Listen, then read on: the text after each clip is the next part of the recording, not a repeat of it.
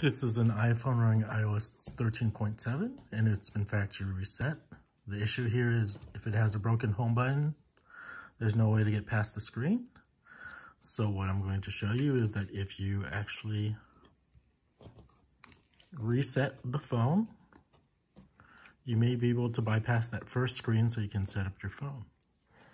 So let me see if I can turn on my phone. Yes. Have a little assistant here in the background who's eating a cracker.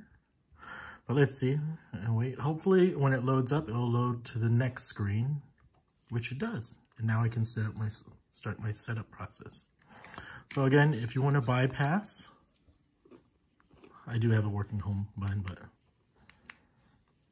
if you want to bypass the home button part,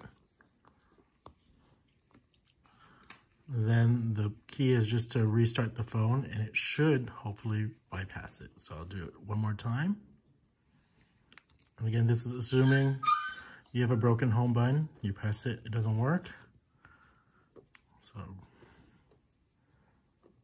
and this was posted by a comment on my other video about using iTunes and accessibility to bypass this. This is actually way easier. And so this guy need, is pretty cool for explaining it to me.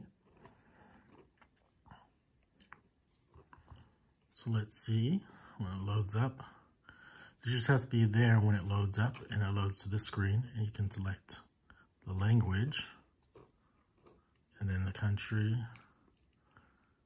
and then do all the rest of the startup. So that's it. Pretty easy.